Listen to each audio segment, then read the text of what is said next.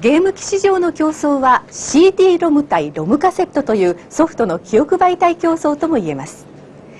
ロムカセットにこだわりを持つ任天堂は任天堂64を値下げし巻き返しを図りました。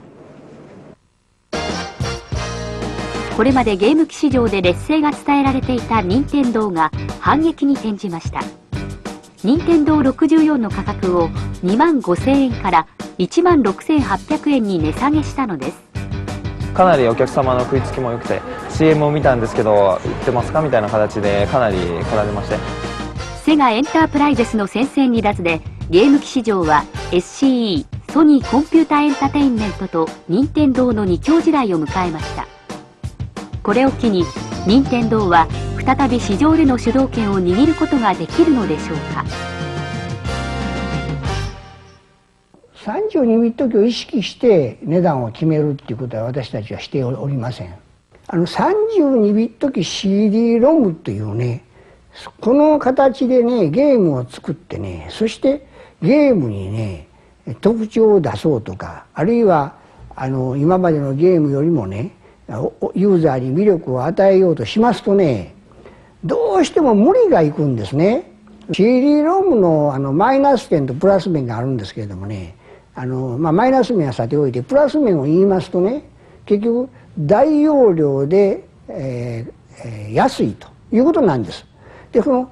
これをこの大容量で安いという利点を生かしてねそして開発を進めるわけですね。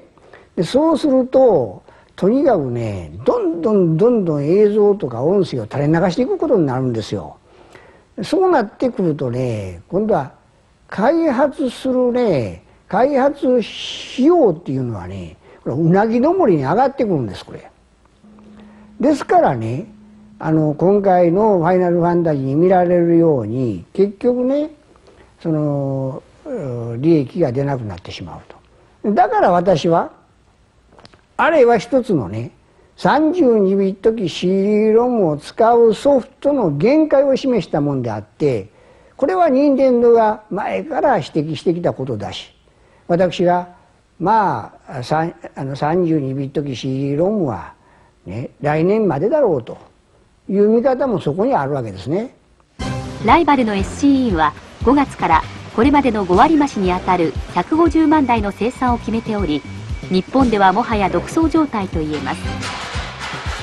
任天堂は好調なアメリカ市場に活路を求める方針でドラクエ FF といった人気ソフトを手放した理由をこう語っています。今世界のねテレビゲームっていうのはねどこのがどこが一番たくさん売れるかっていうとねアメリカなんですね。一番世界でたくさん売れるねこのマーケットで問題にされてないんですよ。そういうそのドラゴンクエストとかファイナルファンタジーっていうのは。4月の下旬にね、えー、スターフォックス64っていうね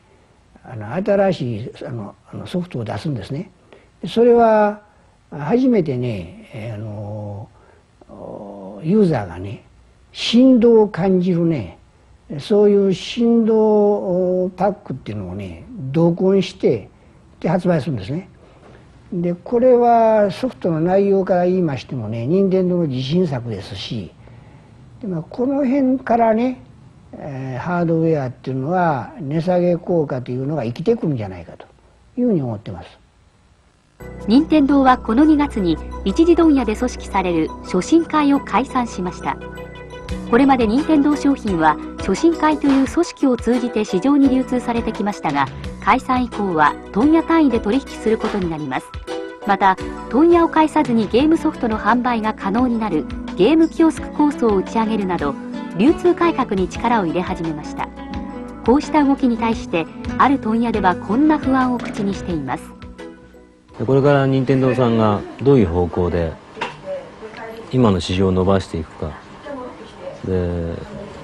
今の、まあ、問屋のシステムを生かして伸ばしていくのか。それとも、えーと、問屋排除の方向に向かっていくのか。で排除の方向に向かっていくんであればやっぱりあの不安というのは、えー、物が仕入れられない。売りたくても。どうしてもねその初心会のメンバーっていうのは50社ありましてね多すぎるんですよ。でましてあのそういうねあの書き換えでですねソフトを売っていくというようなね新しい方式を採用していきますとねこれはもう問屋さんの介在する余地っていうのはもうこれはもうなくなってきますからそその代わりにまた問屋さんを通して売る新しいその商材っていうのもね任天堂は提供していく。っていうことになると思いますんで。だからといって今解散したからといって初心会の問屋さんがですね打撃を受けてしまうと。いうことにはなりません。自ら築き上げた家庭用ゲーム市場にメスを入れながら進路を切り開こうとする任天堂。山内社長の目にはゲーム市場における任天堂の将来がどのように映っているのでしょうか。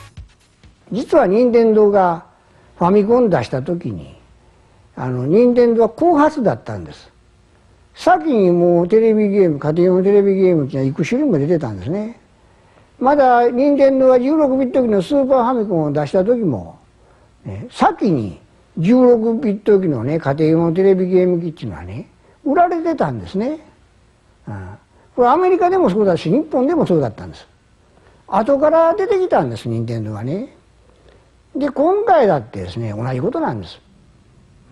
ですからそういう問題に対しては任天堂は過去から現在まで代々後から任天堂は発売してきてるわけですから別に問題はないと思ってます。任天堂が期待の商品として位置づけている振動パックですがソニー陣営もすでに同様の商品を開発しています。任天堂の巻き返しは32ビット機が真似できない。任天堂64の奥の深さを示す次の一手がいつ出るかにかかっています。